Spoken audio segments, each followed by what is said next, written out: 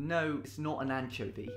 This is a type of parasite which we see in a condition called fasciola hepatica. It's gross enough that it is, but there's another very disturbing fact about it. Who can tell me where it's heading?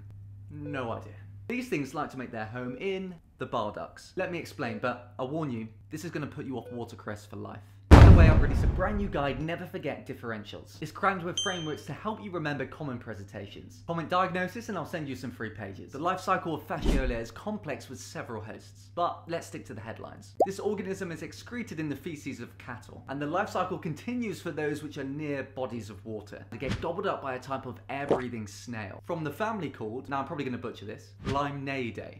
Close enough. The larvae mature in the snail and are excreted in a form called cercariae. They release cysts which may stick to surrounding vegetation. This is where the watercress comes in. Cysts may be guzzled up by cattle or us. We get them from infected water or aquatic plants. Those cysts go down our gullet and then into the duodenum. This is where they burst out of their surrounding cysts. Then beeline straight for our bile ducts. And they do that by migrating through the peritoneum, our liver, and in this case here, our bowels. They rest up and mature into adult flukes. When I say rest, they get pretty busy. They can pump out over 25,000 eggs a day, which we then excrete into our environment and this same disgusting messed up cycle happens over and over again. I've got another patient for you, but you're gonna have to follow me to come and see them next.